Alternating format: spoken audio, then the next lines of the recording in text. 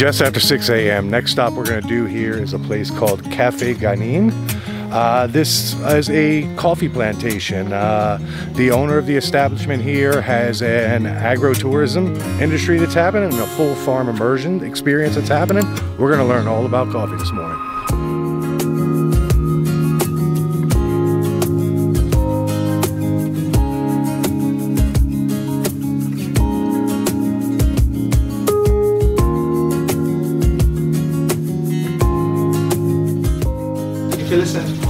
Wood pigeon. A wood pigeon? What's the difference between a wood pigeon and a regular pigeon? Wood pigeons taste delicious.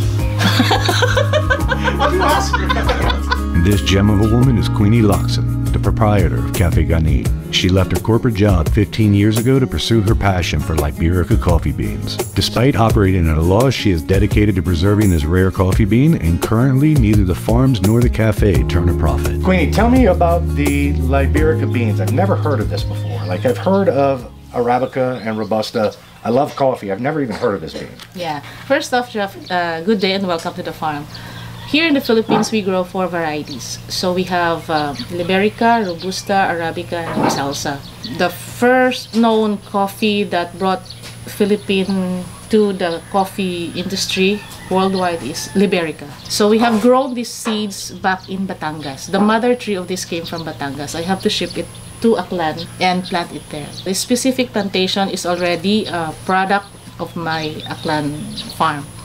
Liberica mainly is one of the most rarest coffee in the world. And here in the Philippines, there's a mandate as much as possible to propagate the tree, to preserve the endangered species that we have, because this is an endangered species already. So it is our advocacy, me and my family, my father-in-law, to preserve the, the tree. And uh, among the varieties that we grow here in the Philippines, this is the future of coffee, Jeff, because uh, this is the most resilient coffee tree amongst the variety. It can withstand extreme weather conditions, uh, especially here. As you can see, it's an open field, and uh, coffee is known to be a shaded uh, crop as much as possible. And this tree can last you up to 100 years. As long as you know how to prune and rejuvenate the tree, it can last you long. This specific tree can withstand insects or pesticides. Here at the farm, as much as possible, we try to offer a traceable, quality, and sustainable bean. Traceable because you know where it's coming from. You know, you know the environment. If you want a good quality bean, you need to have a good uh, environment, terroir, good weather, and we try to grow the tree organically as much as possible. We are very strict on that to to get that quality cup of coffee. How much uh, space do you have here at this particular plantation? Here currently I have pi- uh, 5.72 hectares. I have um, around 6,168 trees in the area and I'm looking for expansion. Okay, and you were telling me earlier the watering process as of right now. What? Explain to me again exactly. Currently, the water system here is just a main deep well attached with several hoses on it and a water reservoir. And then we would uh, just water the trees um, manually by the bucket.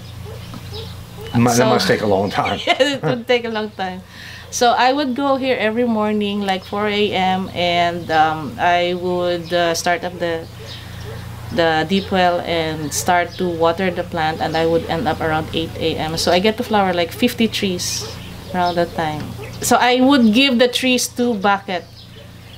50 So- trees from 4 a.m. to 8 a.m., so four hours. And how many trees did you say you had? Oh, Plantation? it's 6,000. 6,000, and, and you can get 50 out in a day because you have to do them by I hand. get to 50, yeah, by So hand. I guess that's the the longer term goal here is to try and get a proper irrigation yes, system. Yes, But the, the, the, the longer, uh, the, the long-term goal for this is really to have a drip system because that's really the right uh, water irrigation for coffee trees. So we're saving up for it. So Queenie, you've started an agro-tourism thing happening here at your farm, what exactly happens during that tour or Yeah, wh- wh- uh, when I started the plantation here in Dulao, Bago City, this is mainly an experimental farm for an open plantation because we already have the shaded one in Aklan.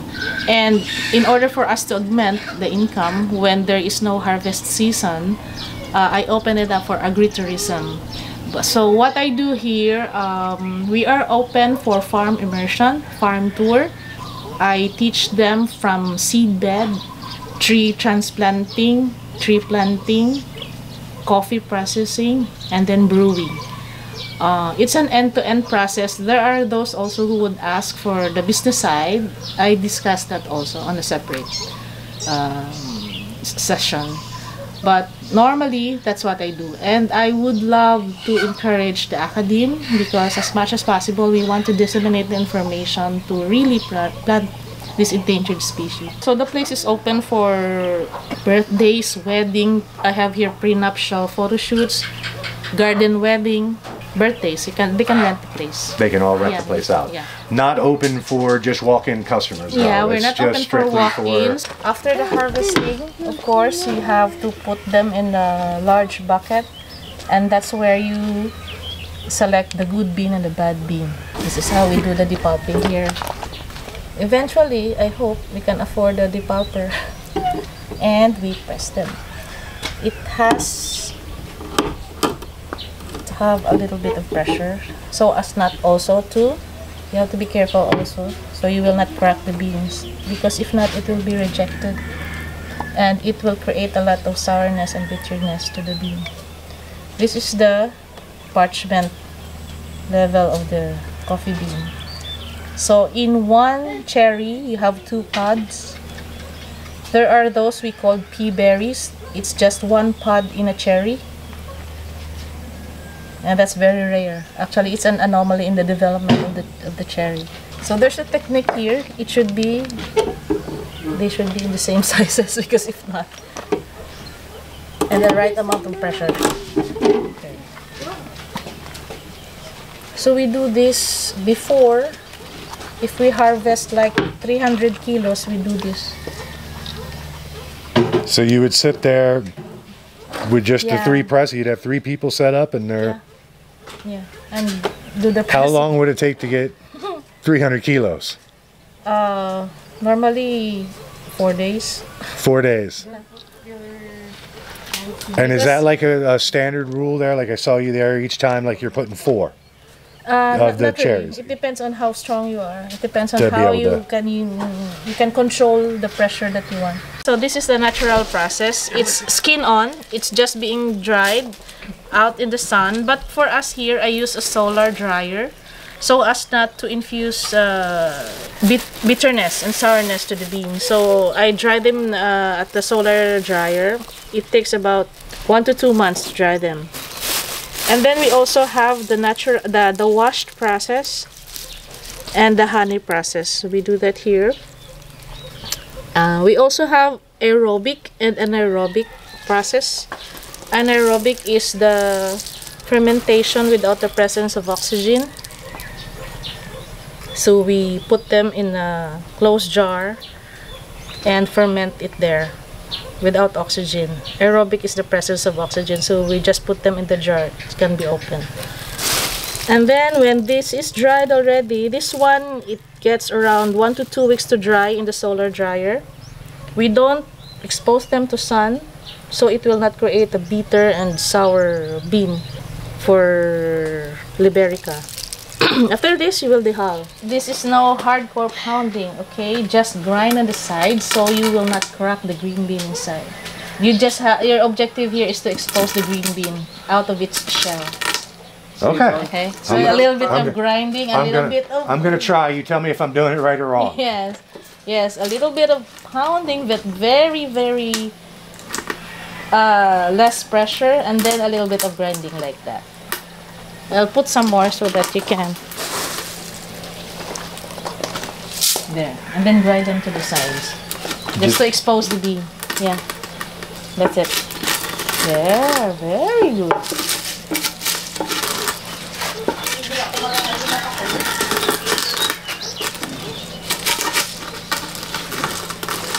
Sa ilo lang ah. You have to finish it, Jeff. Just kidding. I don't know so I what can save up on salary, You want Jeff. I, I don't I don't know what finished is though. Just when, just when you see the right amount of green beans there, then you lift it up I- later, you and then we're gonna win I winnow can't. it. I'm not even sure what I'm looking at Let here. me, Yeah, here, here. Queenie, Queenie. Here. So Queenie, Yeah. can you uh, sh- show us how we know that it's done? If you have exposed the green bean already, So ah, so yeah, you'll no, be show me. able to see the green bean popping up later. So right now you see all the shells in the hull, and then what we're looking Yeah. for is that. Some are exposed. Oh yeah, we see. You see that? Yeah. Yeah, so- yeah. it's cracked already. It's And I'm a- popping out of the shell. Yeah, I see Yeah. it. Good. So Queenie has told me I can't leave until this is done. I have to finish this thing. Nah, just kidding. Now the problem is I don't know what finished is. really. If you can see the green beans there, popping out so we can winnow that. Okay. Just finish this up so we have something to winnow. Oh, did I quit too soon? Yeah, you quit too soon. I did a bad job. Yeah, I'll just pay you uh, prorated. I'll just pay you 30 minutes, Jeff. Okay, I quit on Queenie here on on doing the mortar and pestle. But I'm curious here, like you're doing all of this by hand. So when you have 300 kilos from a harvest, how long does this process take? Months. really? Yeah. But here they're an expert already, so they can like finish 50 kilograms in one day. And then you have to do like that. To separate the hull from the green bean. And then you have the green beans now. Good job, Jeff. It's all whole beans, no cracked beans. So this is how we separate the hull from the green bean. So we have the green beans now. So it's whole. We set we sort our beans. So if it has cracked like this, we don't sell them anymore. We just use them for personal use. Like this one, we don't sell them anymore. And we have to sort it by sizes as well. I don't know what a roaster does. I've never done this before. Yeah, so it's just going around like This, yeah, this is a little child's chair right here. and then just So what, you just keep stirring it around? keep stirring until it gets brown.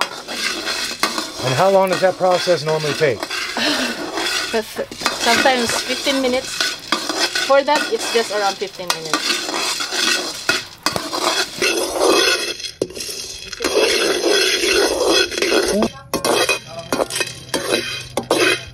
And it's We're shaking. Yeah, it's getting really burnt right now.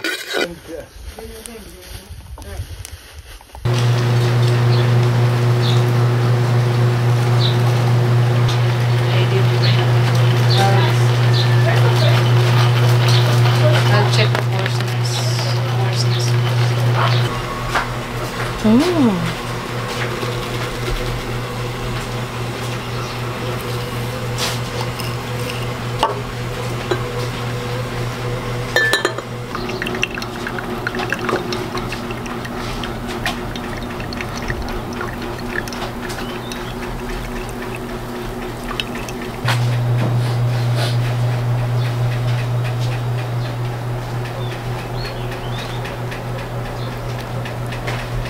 Right, so what Queenie's done here for me is this one that you see here. Uh, that's the one that I attempted to help with and did a horrible job at. Uh, that's the freshly ground one. She's just uh, we grinded it up. She's gonna brew a cup of coffee out of that.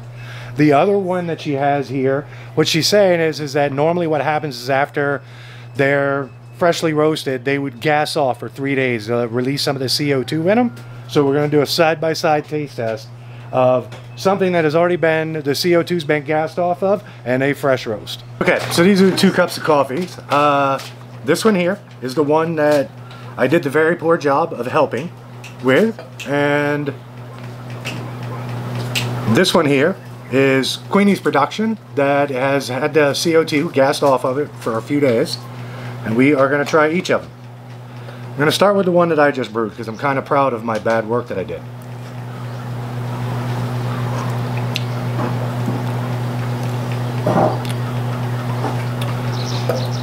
This is very familiar to me, but I want to see what the other one tastes like here. Oh, that's good. All right, this is Queenie's production.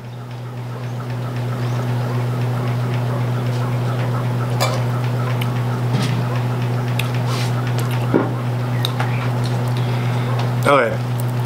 The one that's freshly roasted, you get this bitterness, which is I'm actually familiar with. Uh, it has a it's a very smooth flavor, but there is a lot of bitterness that follows along with it. The one that Queenie's produced that's been gassed off, the CO2's been gassed off of it, it's very smooth. It's there's no uh, if you're familiar with most coffees, a, a dark roast especially, you'll end up getting this bitterness to it. This, nothing at all. It is extremely smooth, a very pleasant taste left in your mouth. To where the freshly brewed that's happening here, you get a little bit of the bitterness with it, but still with a beautiful flavor. They're good.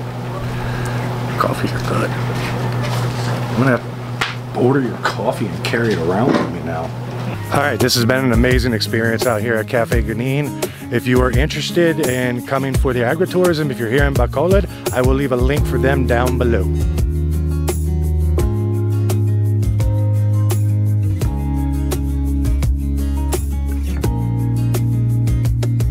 As we made our way back to Bacolod from Cafe Ganin, Martin suggested we stop off at a little eatery for our late lunch.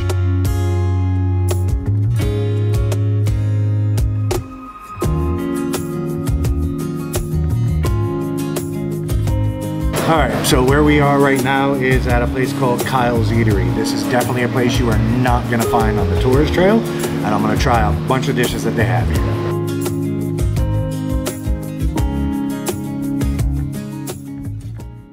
Okay, first thing I'm gonna try here is the pancit molo, which is a soup type thing. It's got uh, some meat dumplings in here and a rich appearing thick broth. Let's give it a shot.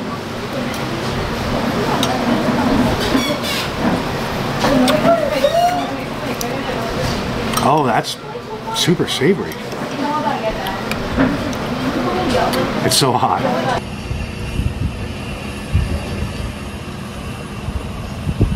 All right, this is the.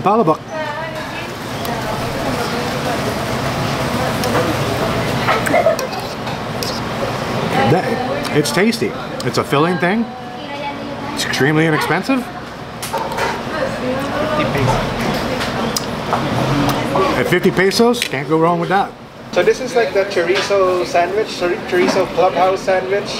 It's got like a, uh, a patty of chorizo meat, Filipino chorizo, so it's a bit Swedish, and then you got like an egg omelette in it, and some of Kyle's uh, sourdough sourdough bread. So it's a very filling meal. It's good for two people actually. That is what I have most of the time.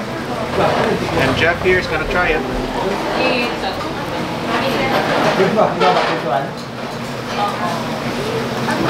I was a little scared when he said the Filipino chorizo in it, so it's a little sweet. This is very satisfying. The chorizo here is fantastic. It's not overwhelmingly sweet. Actually has a slight savoriness to it as well. It's very nice.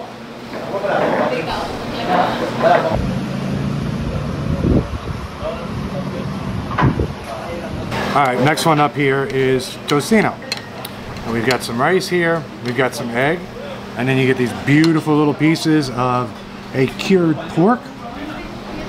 Usually slight, slightly sweet, not the first time I've had this, but let's give John's, or sorry, Kyle's a try.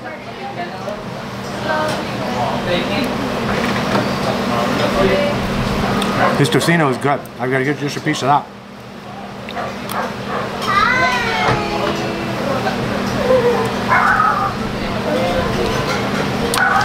All the other tocinos that I've had have been relatively sweet.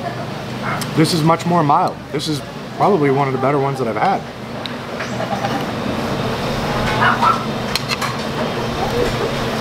This is good. No? All right, one more bite. I've got to stop because I've got to eat other food.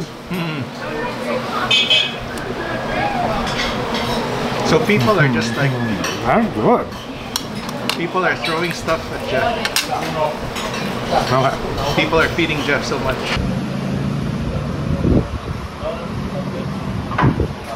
All right, I'm gonna try just a piece of the chicken, dip it in a little bit of the sauce here. Oh wow.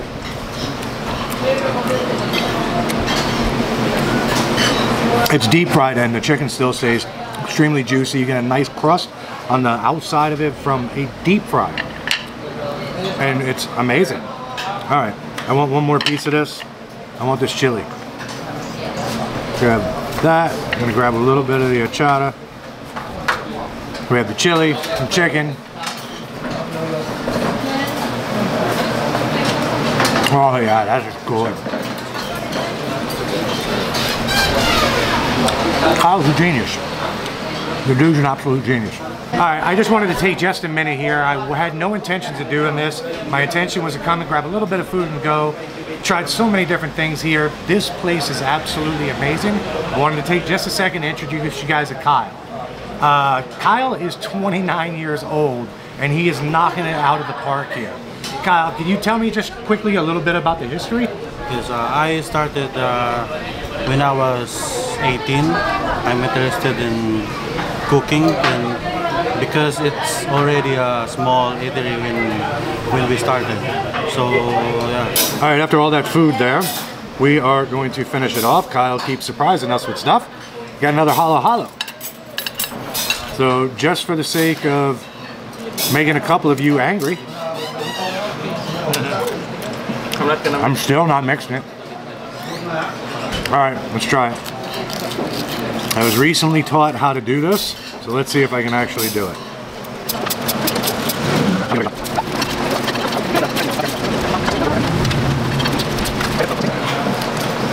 All right, here we go.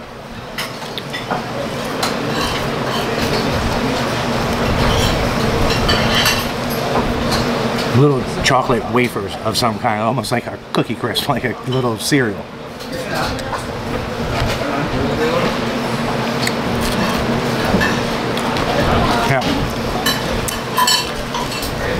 Think Halo is just going to be one of those things that no matter how old you are, it's still going to be tasty. I continue doing what my mom's, What your mom taught you. Join me next week as Lorraine rejoins Martin and I to sample delicious sweets at one of Bacolod's renowned bakeries. Also, I'll be introduced to another talented young entrepreneur who's making a mark in the food industry in the City of Smiles. Don't miss a minute by subscribing and turning on those notifications.